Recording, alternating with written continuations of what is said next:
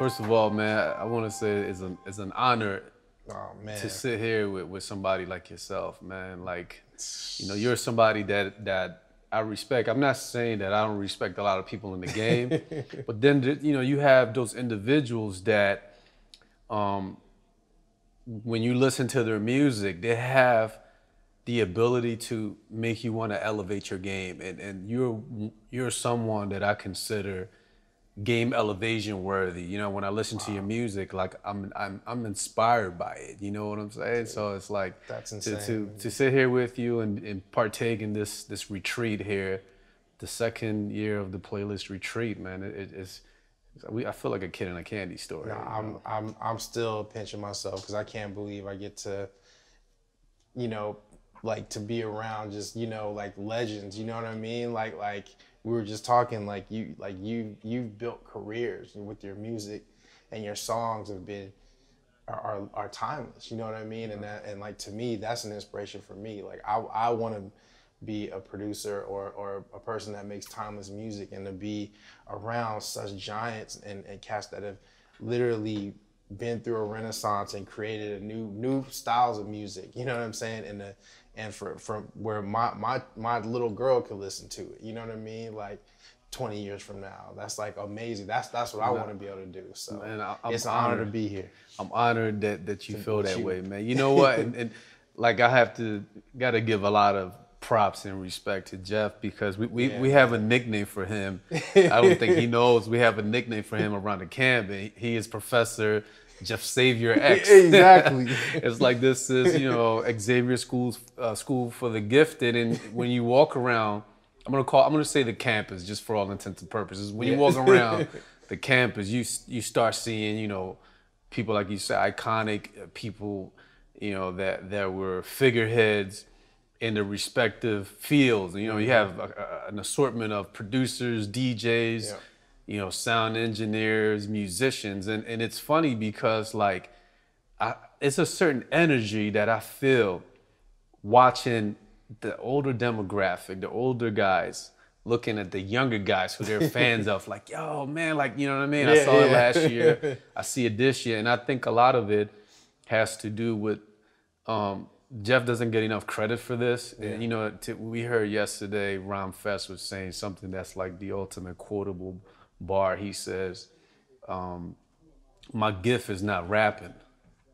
You know, my, my gift is to provide perspective. Rapping Right. is how I do it. So, Right, right, right. as great as Jeff is as a DJ, right and and and, and as wonderful as his talent behind those ones and twos are, yeah yeah he has a more magnificent.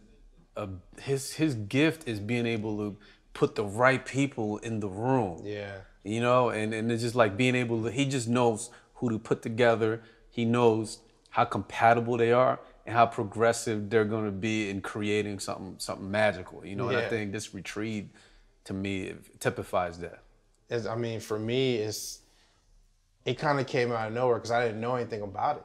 You know what I mean? So, um, you know, when when you get an email that Jazz, Jazzy Jeff, you know, from Jazzy Jeff, who is one of the architects for me. You know what I'm mm. saying? In, in terms of becoming a DJ, you know, I still watch him in awe. So I'm I'm, I'm in awe at all times. Even him walking around here, I don't even know what to do around him. you know what I mean? It's weird because I've studied him for however 20 plus years and, and you know, just to be here for him t- to be around like all this talent, you know, all the stuff that he's done and to be a visionary and to even do something like this is visionary. You know what I mean? To to understand that you know you bring all these people together from across across the world, different genres, different skill sets, to you know to to basically uh, um, you know try try to get people to collaborate and and and to try to advance the culture of music and art.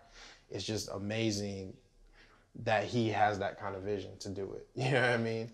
And, and old and new. You know, the new youngest, these young kids to, you know what I mean, the OGs. You know what I mean? And and and it's like you know, it's it's dope to just see everybody interacting and and having the same passion. That's the thing. It's like everybody here is passionate about what they do and the music that they make. And you know the crazy thing is this this whole it's, it, this this I this playlist retreat it's an ongoing conversation. You know, mm-hmm. this is conversations that that have been had for the better part of the last 15, 20 years. You know, talking about you know the music industry has a certain way of igniting your igniting your passions mm-hmm. and, and, and, you know putting out the embers. You know what I'm saying? So it's like it, it, there's a there's like a, a, a roller coaster ride of you know being so conviction where you come in the game and then you feel like man, what am I doing? You know, am I doing this for a check? You know, so right, right. you know, and, and, and things happen, and sometimes you have to find that motivation again. And I think in the conversations we've had, a group of us with him, it's almost like wouldn't it be wonderful to just just create, you know, without any any notion of hey, I got to get this placement or I got I got this deadline. You know right. what I mean? And and it's this is to me, it exemplifies what what that goal is. So when you say like you watch all these people creating, it, it's like it's, it's no pressures. No, it's not. You could just have fun. You can make something that's ill. You know what I mean? That's really what, for me, like, and I'm sure all of us, we got into it because we. I, I wanted to like listen to my music in the car. You know, I wanted to, like if I listen to a J Dilla beat CD, I wanted to have that same feeling about what I do. You know yeah. what I mean? And and it's like I feel like everybody here is like that. You know, we we we we know who the groundbreaking um, artists are, or the producers, or the musicians, you know, that are doing their thing. So it's like to just just to be here, man, just to be here at this retreat and and to and to to see everybody's process is just like it's a dream come true because I literally, for me, I I was literally like in a, a creative block. Like right now, like I'm I was talking to my wife like I can't wait to get back home. I can't wait to get back home. You you you were you were in a creative funk. What I go through creative funks all the time. Like I have I have more creative funks than I feel like probably than anybody.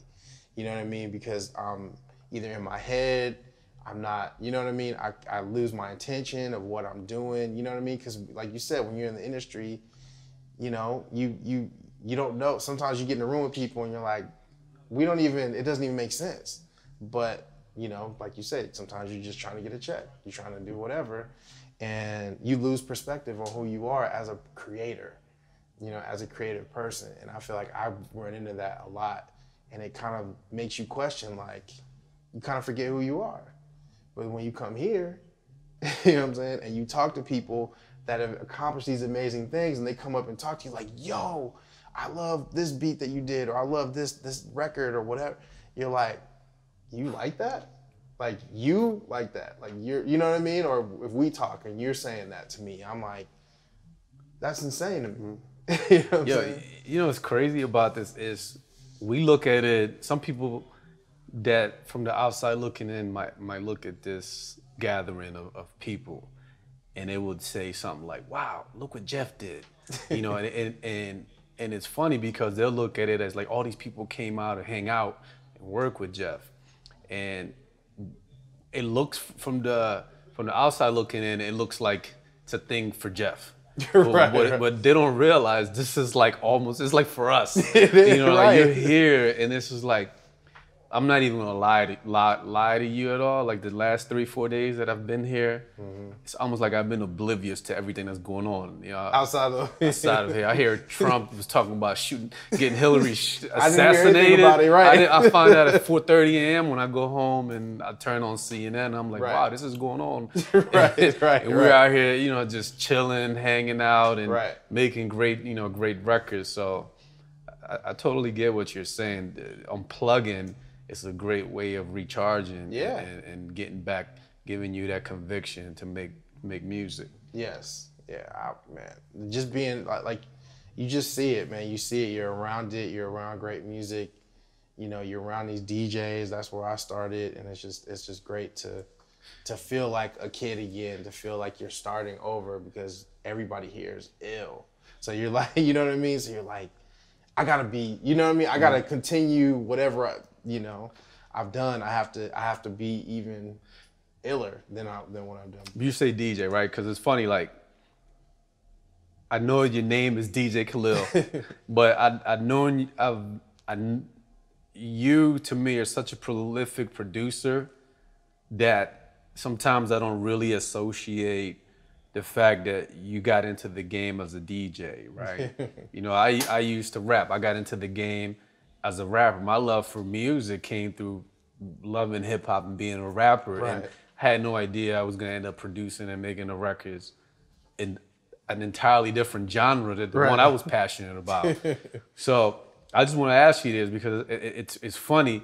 I've I, I've somehow managed to bring like my love for hip hop into you know what I've done in, in, in R and B music. So as a DJ, how do you, do you think that has helped you navigate you know the, the industry and, and be the producer that you are and make the records that you've made? I mean, being a DJ, I mean, you're you're a tastemaker. You know what I mean? You become a tastemaker because you you're picking the records. You know, when you're doing parties, you know, you have to play to what what people like, and you and you know, you know, once you study music and you listen to all these records, I always tell people you're building a library in your head. You're building a library of melody, everything, and I feel like it gets internalized. And so when you're playing out to a crowd, it's just a part of you. You know what I mean? And it really is. And you become a tastemaker. And I feel like it when you're in the in the studio with somebody and you're or you're working with a musician, you're like, nah, that's not gonna work. Cause I know on a record, if that's that I'm spinning, that's not gonna work. It's not mm. gonna sound good. You know what I mean? That drum is not gonna work. If I, that's why I work on drums so much, because I can listen to Dilla, I can listen to Dr. Dre. You know what I mean? I can listen to all these amazing producers and know that these drums aren't gonna work. They're not gonna cut it. If I want to make a classic record, I have to be just as good as them or better. You know what I mean? So you become a tastemaker and you you log all this information over over time and and, and really it just becomes who you are and, and that's why so many DJs become producers mm-hmm. because you have all this knowledge that a lot of, of the, the you know a, a musician may not have that you know what I mean they don't know exactly what's ta- what's tasteful and what's not but you do because you listen to so many records you can go back and listen to old stuff new stuff whatever and apply it to any any production that you're making so it's kind of an advantage in my opinion. It's like having like like a reference source. You ever go to a law firm? and, and I, I, I still don't think these lawyers read all those books. Right. You ever go? To, you ever been to the conference room and they have the entire uh, all the tomes of whatever the California law is or whatever Right, right. the background. But it serves a purpose. You know, I think there's a lot a lot of cases in there that have been have some type of precedent. Like, hey, you're stuck in some case and you need need something to reference reference, something something. You go pull one of those volumes and Right. there's something in there. Right. So essentially, I agree because I think one of my biggest assets, and I'm currently moving right now, right? Mm-hmm. And one of my biggest headaches in this move has to be relocating records, relocating vinyl. Right. So as a DJ and and and, and I know the, you're a record collector, uh, um, and someone that's uh, found quite fond of sampled music, like having that that resource, even if I don't sample a record, but just knowing that I can reference a block of three, four years of CTI produced records, you know, where Bob James might have, may have been the arranger, or, or reference something from Black Jazz, where Right. there's a Doug Carn, Infant, Infant Eyes, or something like that, or reference a mainstream record label, uh, Hal Galper, or something like that, right? right um, I always feel like even if I'm not sampling, I think sonically, it's, it's always been a, an educational tool. right So I think what you're saying, eh, I, I, there's similar parallels there too. Like when you're saying, look, I, my my my resources and the records that I, I play for people, and I see how they react, right and my I, I, my my love for records is similar in knowing that. I, I know what made me move when I heard that record. Right. you know what I mean? I know how that bass line right was the tone it had or Right. How those chords resolve. So I'm work, when I'm working with musicians, I find myself like using that as a as a reference source. So how did you how did you get to a point like especially because you have such a um, just the songs being able to make great songs you know what i mean like where did that that you know what i mean that knowledge come from in your production like you know what i mean because you know what, man? It's it's been it was instilled at a touch of jazz that you know you got to respect the song. So I used to you know when and I used to rap. So of course you're, you're song driven, you're lyric driven, and it's all about saying mm-hmm. a dope metaphor, a dope line. But as far as developing a story, you, you know, Touch, Touch of Jazz was kind of like a, a songwriting factory, you know, and, and it was it was very competitive. You had a lot of people, and it would probably be, hey, we have a we have a placement opportunity, Right. and everybody goes into their rooms. And 16, at first when I first came through, it was 16 people, and it eventually got pared down to the six that, you know, made those records that you were referencing earlier, and, and Andre Harris and Vidal Davis, Keith Pelzer, Darren Henson, and Carvin Haggins, and myself. And you know learning how to respect you know great songsmanship you learn by making horrible records. You, know, you make horrible songs and, and things that don't fit and, and as you grow you kind of you know working with other people working with great talented songwriters that will come through there you know so, you know eric roberson was uh, uh, very talented we worked with him on a lot of records Jill Scott was uh, really dope. You know, when you help, when you develop your sound with people. Um, I remember uh, Kenny Greene from Intro came through one time, Wow. and you know, before he passed away, God rest his soul. And it was always like you know people floating through the you know Kipper Jones, who had written for Brandy at the time. Yeah. So early on, I was being thrown in with a lot of you know people who had won Grammys and and had iconic records in R and B. And here I am, a hip hop guy. Yeah, all I know is just hey, it's a dope beat and it's a loop, it's hot, I can spit to it, and it's like nah, you know, it doesn't resolve or it doesn't have enough dynamics, and Wow. you know, you don't, you don't, you might not be cognizant or aware of those things at, at such a young age, but the more you work with people and the more you develop that, you develop the sense of, you know what, the star of the show may not be my my production. It probably is what is the song about, you know, Right. and how this song is gonna make somebody feel. Right. So we've adopt, adopted a policy of kind of like I, I wanted I wanted the song to be strong enough that no one asked, yo, who made this? Yo, who wrote this? Who did this track?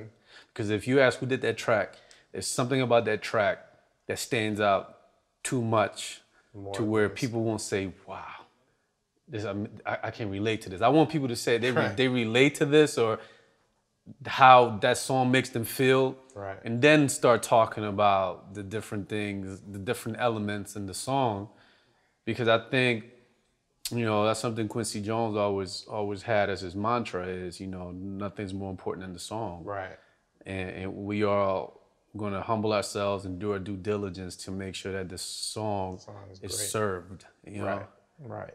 That's crazy. and, and, you know, sometimes I feel like I'm still learning, which I am. You know, Right. every every day you do something, you're like, wow.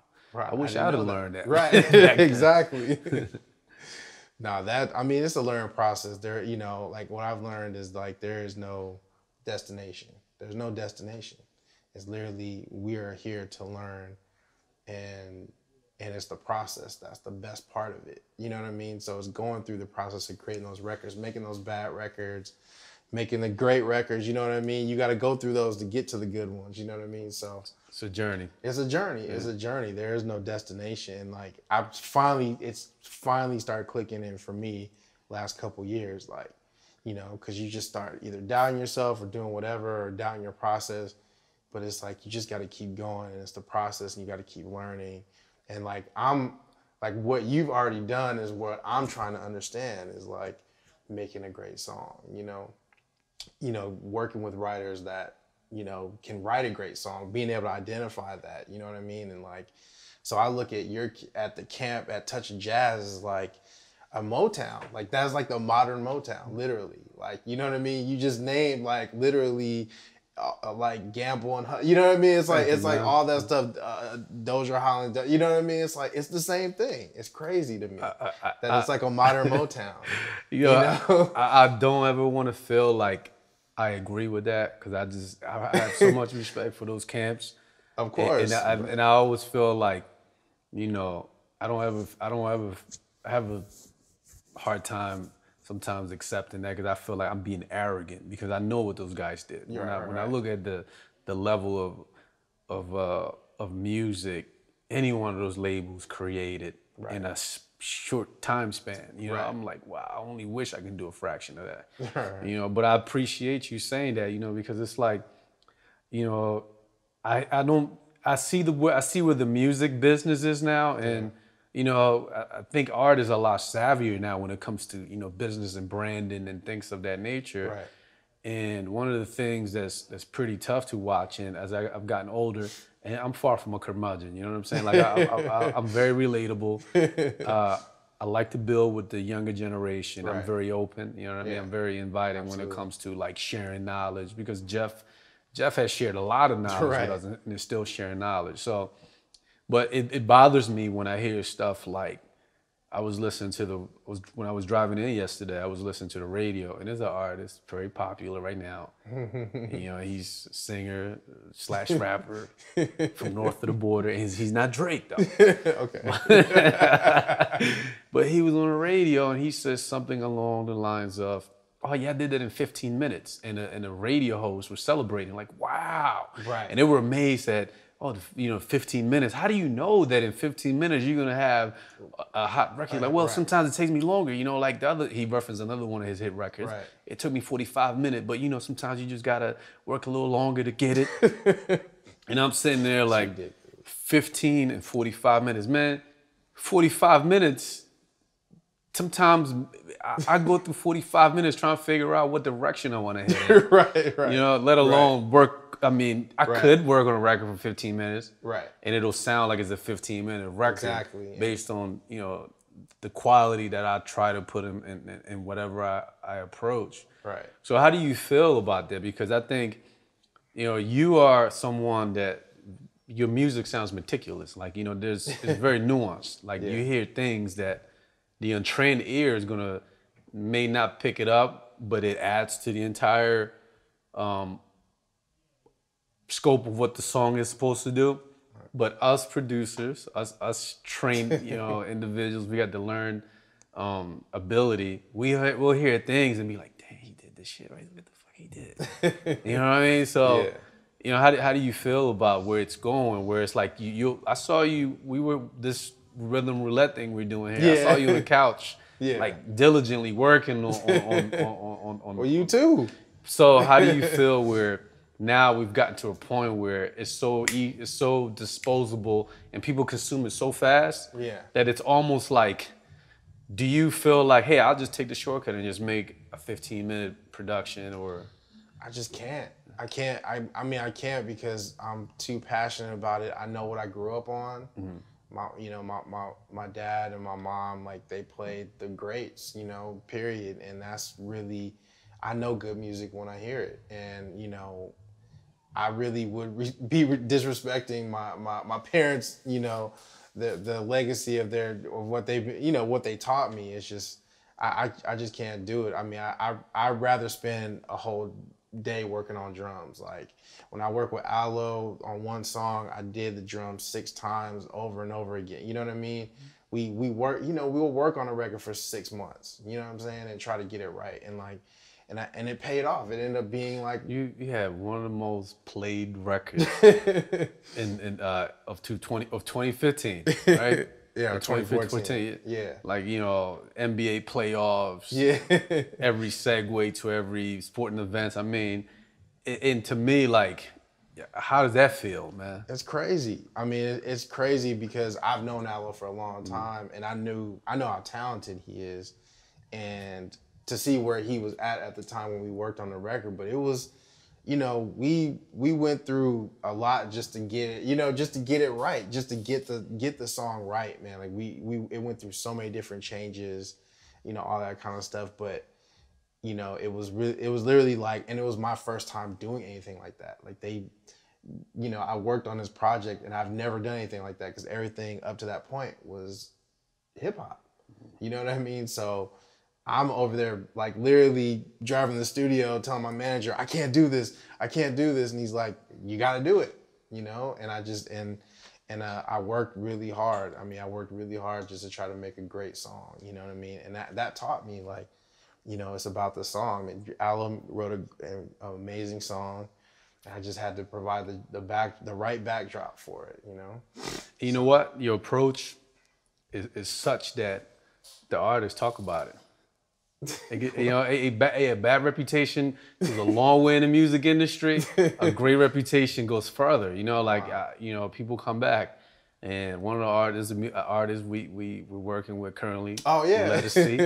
Ledisi. Let yeah. us see singing your praises coming over to the studio. We just did a song together. Crazy. And she was like, man, she's loving what you guys are doing. And it's like, you know, sometimes you underestimate how that approach can be infectious on- Right. on one end, but it also can really inspire people, you Right. know, because, you know, I was talking to her and just how we're talking about the music industry has this thing where it makes you feel like, man, I'm gonna just chill for a while right. whatever.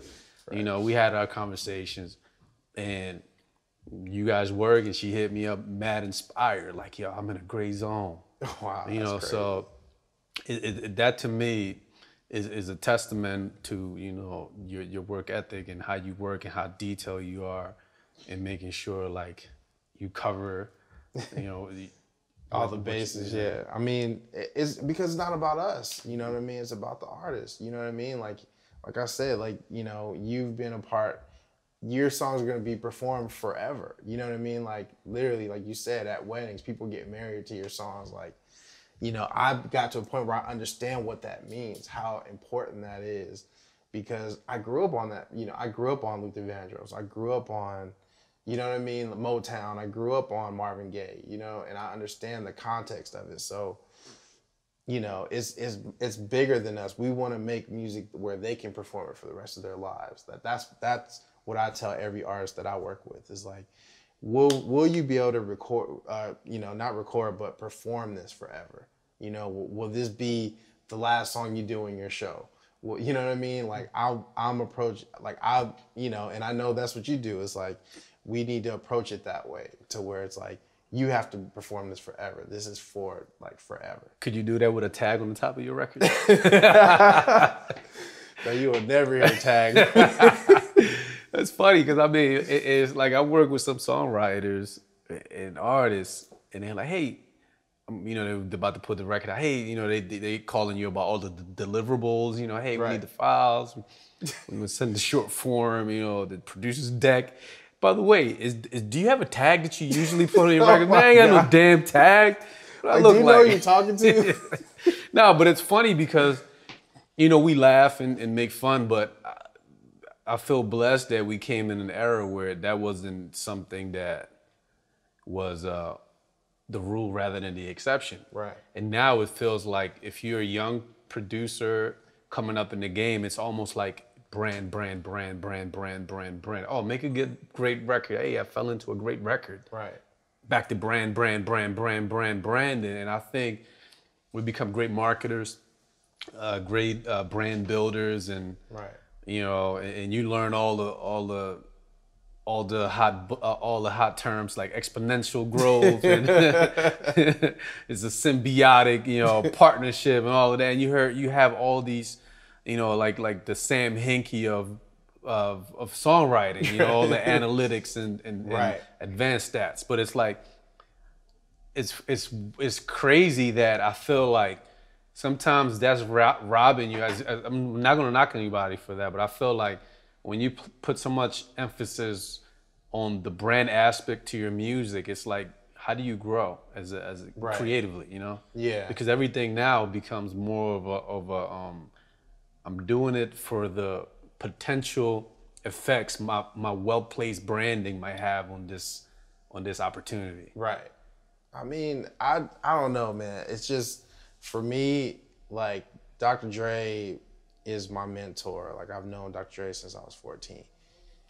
He doesn't have his music stands on his own. You know when you hear a Dr. Dre production, you just know it. And he, you know, he's the blueprint. You know what I mean? When it, especially when it comes to hip hop, but he's one of the big greatest producers of all time. Mm-hmm. On top of that as well, and he's been able to. He doesn't need a tag. Doesn't need. I mean, he's a rapper too, mm-hmm. so that helped. But and he's an artist, but his sound you can't mistake it. And I feel like all the producers, especially here, you know what I mean? And, and we're talking about like I've, I've, you know, when I heard your production, when I heard Musiq Soulchild, it's like I know, like I, I was like, I wish I could do that.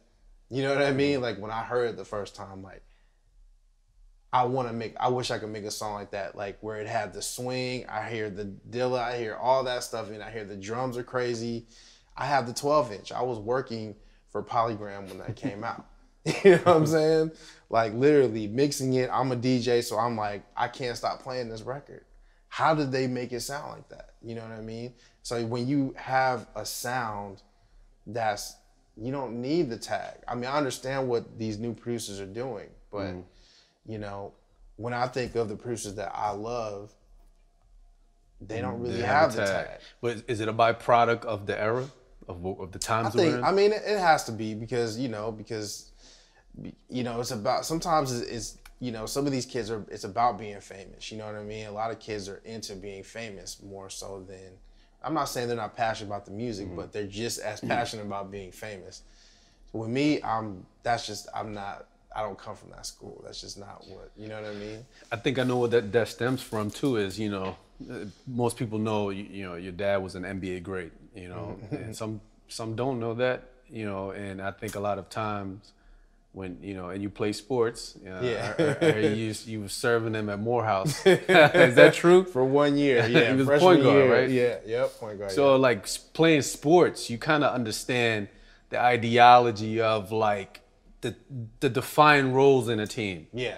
Right. Sure. So you know, like if you out there grandstanding and you're supposed to be bringing the ball up court, right. up court, right, and then setting everybody up, but they're like, "Here come Khalil, taking sh- five straight three right. pointers, right, right? like, yeah, get out, right? Come, exactly. sit, sit over here next to me. So that that concept is lost a lot too. So it's like it almost puts the onus on them. Like yo, I'm I'm the manager, I'm the I'm the producer, I'm the songwriter, right? I'm the the legal guy. It's like you know everybody's micromanaging their career so Everything, much right. that I think the the the lack of a a, a a, defined team and defined roles kind of derails what they can be because a lot of them are pretty pretty dope. Yeah, I hear a lot of dope shit out here, yeah. and I'm like, yo, like dude is dope. Yo, I, yeah. I'm checking for this person. Right. But sometimes the focus is not there because I think everything is so instantaneous. We know social media, you yeah. know, has played a great role and has played a, a horrible role at times because yeah. it's, it's, a it's um attention span enhancer. Yeah. Right. Oh, yeah. It, it, it kills your attention span, and people get so caught up with instant gratification and you get instant feedback. Yeah. In some cases that's great, in some cases that's horrible. Bad, yeah. And you know, and the advanced stats don't really tell like that one view, you don't know what they were doing behind their screen right. when they was watching that. So right. it, it, creates this whole sense of a false sense of security right. for people that depend on that. And I think that's great because I, I love what branding and what social media and all that stuff does for careers, but you can't skip that one part that that's going to make everything else possible. You right. can't do the social media stuff first and the branding without anything without to the, brand. exactly. Know? It's a body of work. It's about a, a, Dr. Dre can sell headphones because of his body of work. Jay Z can have Tidal because of a body, body of work. work. People buy into your art and what you've done and what you've done over a span. You're a legend. Then you can sell a product. You know Will I mean? Will Kanye be able to sell Yeezys without Exactly. Without Ye- Jesus walks. exactly. That's what I'm saying. It's like people want to skip that step because they see that okay, I can make a lot of money, but you don't understand the the sweat, blood, sweat, and tears. You know what I mean? It, like you have to go through to even sell a product or to even have that kind of recognition. You know, and like social media, I'm not great with social media at all. I'll be honest. I've just I'm that's just not who I am. I'm a very behind the scene. You know, and I'm and and you know, it just doesn't work for me because I can easily be distracted. I know the kind of mm. personality mm. that I have. I definitely will be on there like, oh, who like this? Who, you know mm. what I mm. mean? So I kind of, I'd rather just go in the studio and bury myself in work, and then, you know, I'll do take a picture with people and do all that kind of stuff, but. I'd rather the work, you know what I mean? That adds to your allure, man. Because like the, the, the stuff I hear that comes back from people that know you, you know, they it, it's almost like you know, like they saw they, they went to Everest and, and got with a Sherpa up there. You know what I'm saying? It's like it's like they yeah, it's like a myth, but not in a bad way though. It's almost like wow, like you you went to his studio. Yo, is it true that he uses? You know, and, and it's like you know the fact that you're not putting it out there. You know, like hey, look at me, everybody. I'm this is what I'm using. Hey, look at me. I'm working with this person. Like it, it, it's great to show people what you know what you're doing as an artist and give them a peek into your world. Yeah so long as it enhances the overall product, you right, know, because sure. it adds to the experience. But I think because you are how you are, people, you know, have a curiosity of sorts that, that makes you mu- that much more exclusive and that, and that and makes them feel like it's a treat when they get in with you, you know. So that- that's that's, That's, that's, uh, great, you know. That's crazy. I mean, you know, I don't know, man. I, I mean, it's just, you know, that's just the way, like like you said, the basketball analogy is the best thing because it's just like, it's not about grandstanding. It's just my dad was always, my, he always instilled in me like, it's about the work. You know, you put in the work, and you know, you will reap. Like me being here is, is like the be- biggest reward I've I could receive. Like for me, it's one of the biggest rewards because I, I get to sit here and talk with you. You know what I hmm. mean? And and we can talk shop and we could talk about stuff and I can exchange numbers and you know what I mean. I'm meeting James Poyser. I'm meeting all, like people that I've read the credits on. I'm like, I can't. You know what I mean? And they're here. They're physically here. So it's like this is like the biggest reward for me for the whatever work I've done. You know what I mean? At this point. and, and, and, and and take pride in knowing that these same guys that you're referring to in that manner look at you like wow you know and, and i think that's the good part about you know the retreat you know it kind of feel like everybody's a fan of each other Yeah, exactly. you know and i think anybody that's a sensible person with respect to how they view music we're fans first Yeah. you know i i, I still listen to to songs as a fan Right. you know, at one point I used to listen to an album like, yeah, let me pick out the next single. Like, what the hell am I doing? I'm not an A and R. I'm Right, not getting a check.